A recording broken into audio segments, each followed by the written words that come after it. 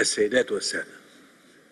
أود في البداية أن أعرب لفخامة الرئيس بوتين عن تقديرنا البالغ لحفاوة الترحيب وكرم الضيافة.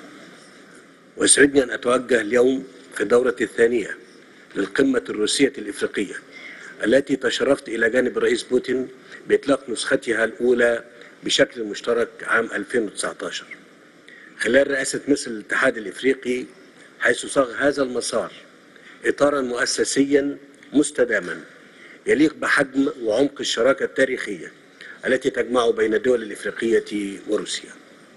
وتأتي قمتنا اليوم في ظرف دولي بالغ التعقيد مناخ عام يتسم بدرجة عالية من الاستقطاب والتغيرات التي باتت تمس القواعد الرئيسية والتي يبني على أساسها نظامنا الدولي بمفهومه الحديث.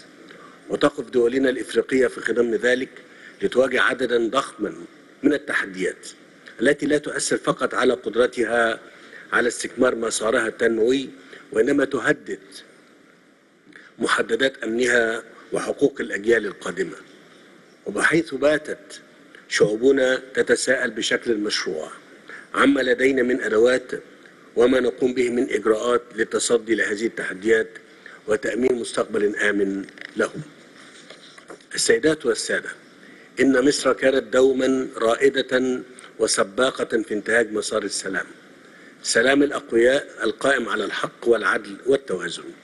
فكان هو خيارها الاستراتيجي الذي حملت لواء نشر ثقافته إيمانا منها بقوة المنطق لا منطق القوة وبأن العالم يتسع للجميع واسمحوا لي في من هذا المنبر وبمناسبة قمتنا اليوم. أن أطرح عليكم رؤية مصر بشأن الظرف الدولي الراهن وكذا أهم المحاور التي نقدر أهمية التركيز عليها كأساس لتعميق التعاون القائم تحت مظلة شراكتنا الاستراتيجية. أولا إن الدول الإفريقية ذات سيادة وإرادة مستقلة وفاعلة في مجتمعها الدولي. تنشد السلم والأمن وتبحث عن التنمية المستدامة. التي تحقق مصالح شعوبها أولا ويتعين أن تبقى بمنأى عن مساعي الاستقطاب في الصراعات القائمة. ثانيا أن صياغة حلول مستدامة للصراعات القائمة في عالمنا اليوم. يتعين أن تتأسس على أهداف ومقاصد ميثاق الأمم المتحدة ومبادئ القانون الدولي بما في ذلك التسوية السلمية للنزاعات والحفاظ على سيادة الدول ووحدة أراضيها. بجانب ضرورة التعامل مع جذور ومسببات الأزمات لا سيما تلك المتعلقة بمحددات الأمن القومي للدول. وكذا أهمية الامتناع عن استخدام الأدوات المختلفة لإذكاء الصراع وتعميق حالة الاستقطاب ومن بين ذلك توظيف العقوبات الاقتصادية خارج آليات النظام الدولي متعدد الأطراف. ثالثا ضرورة الأخذ في الاعتبار احتياجات الدول النامية. وعلى رأسها دول القارة الإفريقية فيما يتعلق بتداعيات شديدة الوطأة على اقتصاداتها جراء الصراعات والتحديات القائمة.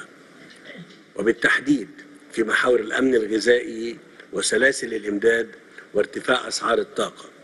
وأكد في هذا الشأن أهمية إيجاد حلول عاجلة لتوفير الغذاء والأسمدة بأسعار تساعد إفريقيا على تجاوز هذه الأزمة مع البحث عن آليات تمويل مبتكرة تدعم النظم الزراعية والغذائية في إفريقيا. وأنني لا أتطلع إلى التوصل لحل توافقي بشأن اتفاقية تصدير الحبوب يأخذ في الاعتبار مطالب كافة الأطراف ومصالحهم وضع حدا للارتفاع المستمر في أسعار الحبوب. رابعا تحتم التطورات الدولية المتلاحقة وتداعياتها التي باتت تمس كافة أرجاء عالمنا. وجود صوت إفريقي مؤثر وفعال داخل المحافل الدولية القائمة. وبما يعمل على إيصال موقف الدول الإفريقية ويحقق القدر المطلوب من التوازن عند مناقشة القضايا ذات التأثير المباشر على مصالحها.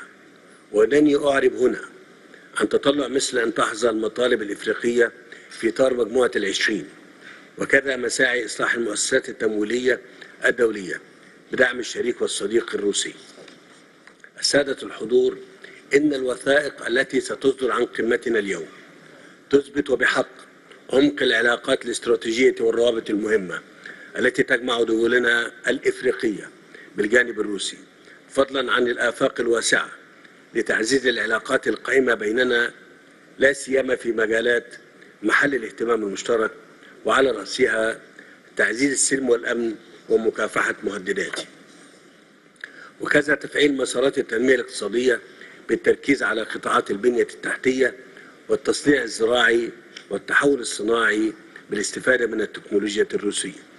هذا بالإضافة لتعزيز الصلات الثقافية والروابط التاريخية بين شعوبنا. وإنني أؤكد في هذا الصدد التزام مصر باستمرار انخراطها بشكل جاد ومخلص في جهود تعميق شراكتنا الاستراتيجية إيمانا بالفرص ومساحات التعاون الواسعة القائمة في إطارها. وذلك من خلال تسخير الأدوات والإمكانات المصرية على المستوى الوطني. عبر تفعيل التعاون القائم بين بين الشركات المصرية ونظيرتها الروسية في المجالات ذات الاهتمام المشترك. وعلى المستوى القاري من خلال رئاسة مصر للجنة التوجيهية لرؤساء دول وحكومات وكالة الاتحاد الإفريقي للتنمية النيباد وكذا ريادة ملف إعادة الإعمار والتنمية. فيما بعد الصراعات على مستوى الاتحاد الإفريقي لتدعيم جهود تعزيز السلم والأمن وتحقيق التنمية. وختاما أتقدم بالشكر مرة أخرى لروسيا ولفخامة الرئيس بوتين على عقد هذا المحفل وأعرب عن التطلع لاستمرار التنسيق في إطار الشراكة المحورية القائمة بيننا متمنيا للشعب الروسي وكافة الشعوب الأفريقية دوام التقدم والازدهار وشكرا.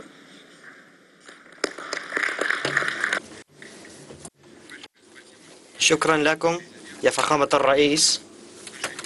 فإن العلاقات بين روسيا ومصر على امتداد العقود لها طبيعة استراتيجية هذا أمر واقع. فلا يهمنا ما تنص عليه الوثائق يهمنا الحقيقة والأمر الواقع. الذي يقول إن العلاقات الروسية المصرية هي العلاقات الاستراتيجية في مجال الاقتصاد والسياسة. لدينا المشاريع كبيرة مشتركة فأريد أن أعود إلى ما تطرق إليه زميلي بخصوص سياسة وبرامج الأغذية العجز في الأغذية والأسعار أريد أن أكرر الصعوبات في الأسواق الطاقة والأغذية ظهرت ليس الأمس وليس على خلفية الأزمة الأوكرانية بل ظهرت في أثناء مكافحة وباء كورونا. عندما الكثير من الدول المتقدمة صناعيا من خلال إغلاق ووقف عمل المصانع بالأسباب الصحية البترية اضطروا إلى دعم مواطنيهم وسكانهم. ولكن بأي طريقة؟ في نهاية المطاف يختاروا طريقة تبع وتداول المال النقود. في أمريكا كانت بالمقاييس الجبارة وفي الاتحاد الأوروبي شوي أقل فإن الأوراق المالية المتبوعة استخدموها لشراء المواد الغذائية في الأسواق لذلك الأسعار ارتفعت. ذلك مرتبط بالسياسة غير المحسوبة وغير المدروسة بدون أي حجج للاعتقاد بفعالية هذه الممارسات. تبعوا هذه الممارسات وفي نفس الوقت في الطاقة. لجأوا إلى موارد صديقة للبيئة خضراء بسياسة غير المدروسة والخطة غير المدروسة وذلك عكس على أسعار الطاقة. هذا خطأ بعد خطأ. أشياء جذرية هيكلية قلبت الأمور رأسا على عقب في سوق الأسمدة وسوق الطاقة. ها هو السبب لارتفاع الأسعار في جميع المجالات. ما يحدث الآن في أوكرانيا ذلك عمل محفز لما يحدث ولكن السبب الحقيقي والجذري هو في الممارسات النقدية والسياسات النقدية المالية سياسات في مجال الطاقة غير المحسوبة في الدول الغربية. ها هو السبب لارتفاع الأسعار بما في ذلك في سوق الأغذية. وطبعا علينا أن نفكر عما هو على السطح. أقصد بذلك الأزمة الأوكرانية ونحن سنناقش ذلك لاحقا. شكرا على خطابكم والآن أنقل الكلمة إلى رئيس دولة إريتريا إساياس أثيبوركي تفضلوا.